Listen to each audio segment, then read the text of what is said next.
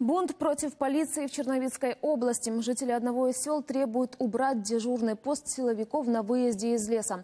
Даже попытались выгнать копов силой, за что узнавала Ольга Поломарюк.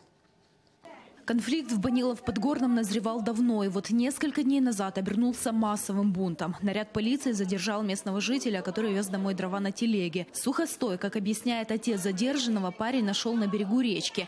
Полицейские не смогли определить, что это – сухой лес или свежесрубленные деревья, и потребовали предъявить документы на груз. Вода, коли носить, несе, вона носить е, довгоміри, несе е, метрові, е, ну різні. І це роз- розпилював, він заготовлював протягом місяця. Ну, і так. Ліс не крадений. Ні, ліс е, не крадений. Телегу с дровами проверяли почти 8 часов, рассказывает Виталий. Местных жителей это возмутило. Они собрались и попытались выдворить полицейских из села.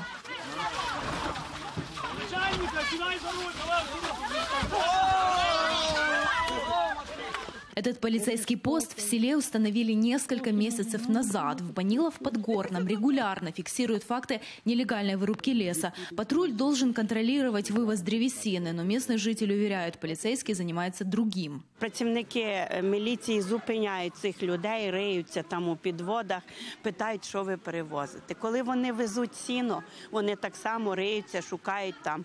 Люди требуют перенести пост подальше от населенного пункта. Я простий трудяг, но я маю стягнув два суки, вітер уломив два краки, я загрузив у фіру, і я маю трястись і їхати попри вас ваш пост. А вот в полиции считают, селяне бунтуют совсем по другой причине.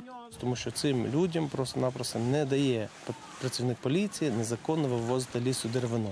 То, что лес систематически рубят и крадут местные жители, подтверждают и лесники. Они за дежурный пост.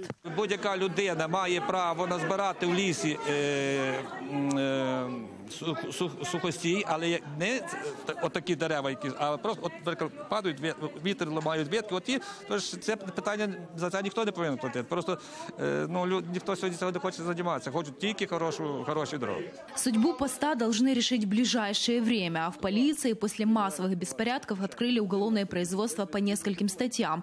Угон служебного автомобиля, хулиганство и сопротивление сотрудникам полиции. Ольга Поломарюк, Игорь Рига. Подробности телеканал Интер. Черновицкая область.